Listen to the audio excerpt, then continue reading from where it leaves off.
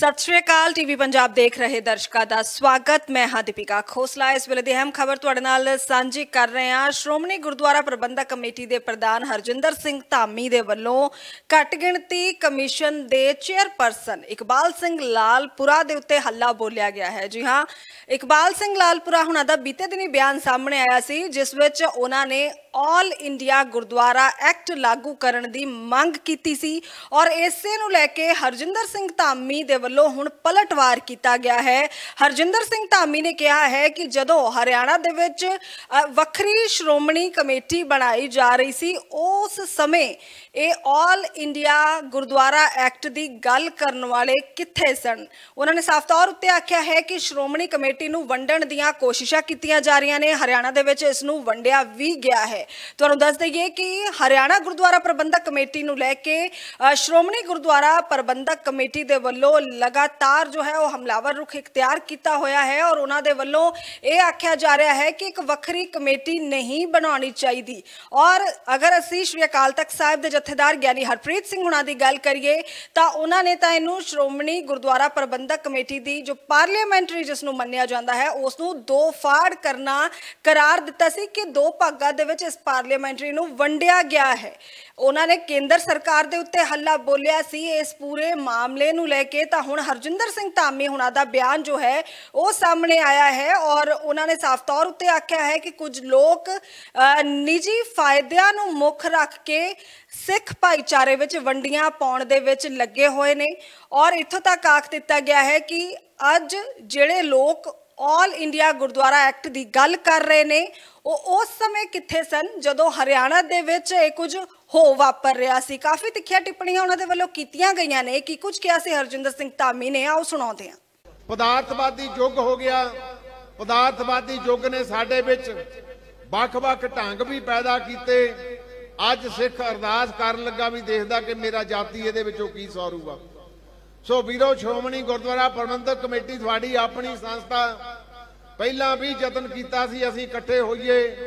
ਇਕੱਠੇ ਹੋਏ ਵੀ ਸੀ ਬੰਦੀ ਸਿੰਘਾਂ ਦੇ ਮਸਲੇ ਦੇ ਉੱਤੇ, ਪਰ ਸਰਕਾਰ ਨੇ ਫਿਰ ਖੇਰ ਫੇਰੂ ਕੀਤਾ। ਅੱਜ ਤੁਹਾਡਾ ਸਮਾਂ ਜਿਹੜਾ ਏ, ਇਹ ਚੰਗਾ ਸਨੇਹਾ ਲੋਕਾਂ 'ਚ ਨਹੀਂ, ਕੌਮ 'ਚ ਨਹੀਂ, ਉਹਨਾਂ ਵਿਰੋਧੀਆਂ 'ਚ ਵੀ ਜਾਊਗਾ, ਜਿਨ੍ਹਾਂ ਨੂੰ ਇਹ ਪਤਾ ਲੱਗੂਗਾ ਕਿ ਸਮੁੱਚੀਆਂ ਨਿਹੰਗ ਸਿੰਘ ਜਥੇਬੰਦੀਆਂ, ਸ਼੍ਰੋਮਣੀ ਗੁਰਦੁਆਰਾ ਪ੍ਰਬੰਧਕ ਕਮੇਟੀ ਨਾਲ ਇੱਕ ਸੁਰਤਾ ਦੇ ਨਾਲ ਇਕੱਠੇ ਹੋ ਕੇ ਚੱਲ ਗਏ। ਸੋ ਮੈਂ ਅੰਤ ਦੇ ਵਿੱਚ ਥੋੜੀ ਜਿਹੀ ਬੇਨਤੀ ਕਰਕੇ ਤੁਹਾਤੋਂ ਖਿਮਾ ਲਵਾਂ ਕਿ ਜਿਹੜੇ ਅੱਜ ਕਹਿ ਰਹੇ ਆ ਕਿ all India Sikh Gurdwara act ਬਣਾਓ, ਮੈਂ ਇਹਨਾਂ ਨੂੰ ਪੁੱਛਣਾ ਚਾਹਣਾ ਦਿੱਲੀ ਦੇ ਵਿੱਚ ਬੈਠੇ ਆ, ਚੇਅਰਮੈਨੀਆਂ ਭਾਗ ਰਹੇ ਆ, ਤੇ ਪਹਿਲਾਂ ਕਿੱਥੇ ਗਏ ਸੀ ਜਦੋਂ ਹਰਿਆਣਾ ਟੁੱਟਾ, ਉਦੋਂ ਤਾਂ ਹਰਿਆਣੇ ਨੂੰ ਸ਼੍ਰੋਮਣੀ ਗੁਰਦੁਆਰਾ ਪ੍ਰਬੰਧਕ ਕਮੇਟੀ ਨੂੰ ਵੱਖ ਕਰਨ ਲਈ ਗੋਂਦਾ ਗੁੰਦ ਰਹੇ ਸੀ। ਅੱਜ ਬਿਆਨ ਦੇ ਰਹੇ ਆ ਕਿ all India Sikh Gurdwara act ਬਣ ਜਾਏ। ਇਹ ਮਜ਼ਾਕ ਕੀਤਾ ਜਾ ਰਿਹਾ ਉਹ ਦਿੱਲੀ ਦੇ ਸ਼ਾਸਕ ਬੜੇ ਤੇਜ਼ ਆ। ਉਹ ਸਮਝਦੇ ਪਏ ਆ ਮੌਜੂਦਾ ਜਿਹੜਾ ਰਾਜ ਜਾਂ ਮੌਜੂਦਾ ਗੁਰੂ ਕੇ ਸਿੱਖ ਸ਼ਾਇਦ ਅੱਜ ਲਾਲਚੀ ਹੋ ਗਏ।